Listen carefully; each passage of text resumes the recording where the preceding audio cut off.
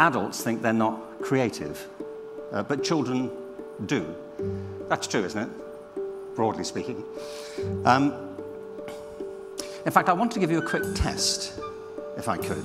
How creative do you think you are, personally? Uh, where would you put yourself on a scale of 1 to 10? While you're thinking about that, uh, have a think about this.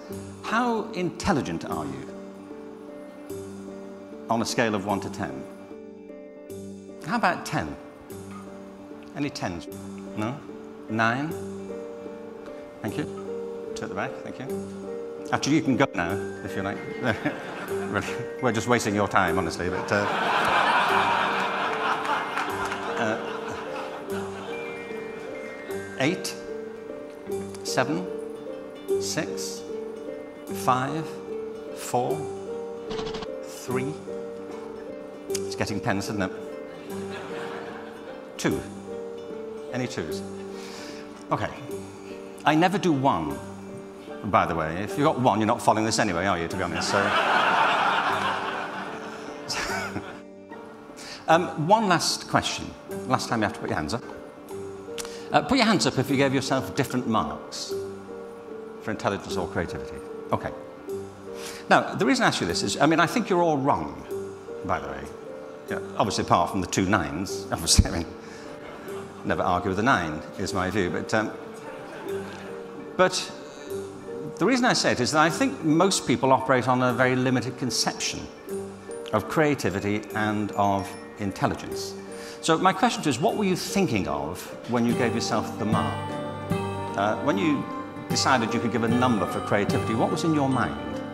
Uh, when you gave yourself a number for intelligence, what was it you were thinking of? Um, you see, my experience of it is that people operate on all kinds of misconceptions about creativity. They think it's all about the arts. Well, the arts are terribly important. but It's not just about the arts. They think it's about special people. It's really not. I mean, if you're a human being, it comes with a kit. You know, you are born with tremendous creative capacities. Um, the trouble is that creativity is a bit like literacy. You may have an aptitude for it, but never develop the abilities that are required to exercise it. And that, to me, is a big fault of our education system. Um, and the third misconception is there's nothing you can do about it. You're creative or you're not, and that's the end of it. And I believe there's a great deal you can do to make yourselves more creative.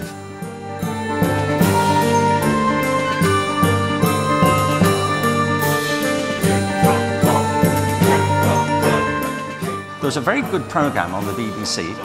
It was about how many people can live on Earth. And they came to this view you know, there are now 7.5 billion people on the planet, and we don't know if the Earth can handle it. So they said if everybody on Earth were to consume at the same rate as the average person in Rwanda, you know, consume food, fuel, water, uh, the Earth could sustain a maximum population of 15 billion people.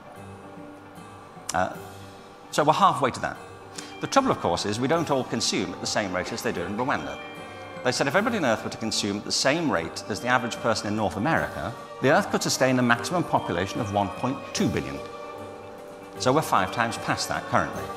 Uh, so if everybody on Earth wanted to live as we do in North America, and by the way, they do, uh, we would need four more planets to make this feasible, uh, which we don't have. And there's a paradox here. All of these challenges are created by human ingenuity and human innovation and creativity. It's not the lemurs that are causing the problem, it does. Uh, and at the very point where we need to get even more innovative, more inventive, more ingenious to deal with the challenges that we have created, our education systems are stifling the very capacities on which we're about to depend.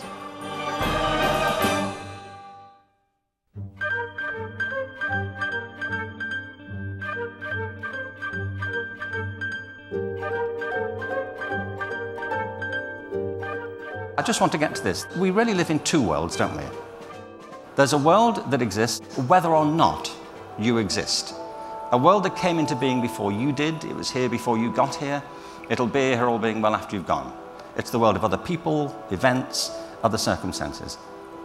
Our education systems are pretty obsessed with that world.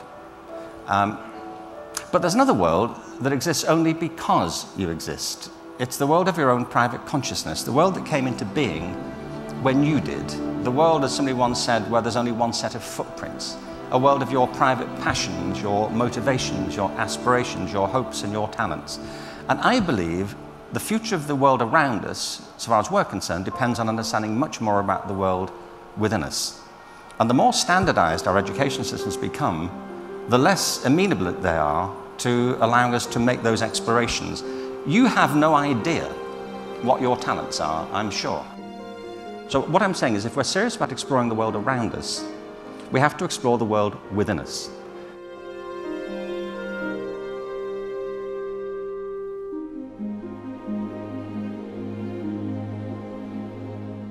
We are a very small part of all of this.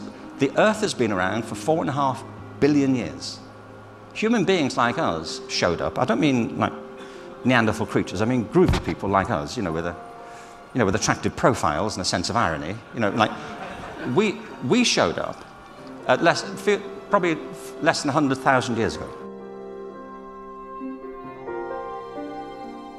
We are despoiling the very planet on which we depend, and we won't, I think, make a better job of it until we understand the depth of our own talent and spiritual resources within us. When I asked you how intelligent you are, it's the wrong question. The real question is, how are you intelligent? The question is not how creative are you, it's how are you creative?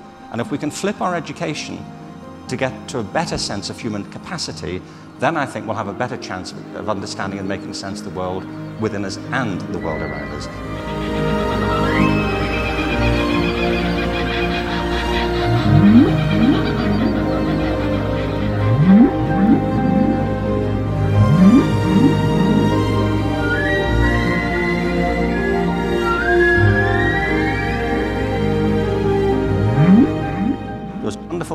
Quote from H.G. Wells. He said, Civilization is a race between education and catastrophe. Now, it may or may not be the case, but what we do know is that the great bridge between the two worlds that we live in is education. And I think we have to rebuild it so that we can build a bridge to the future. Thank you very much.